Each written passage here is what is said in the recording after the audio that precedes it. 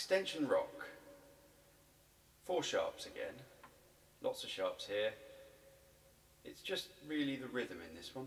Nothing hugely exciting about this. Just a normal one to do.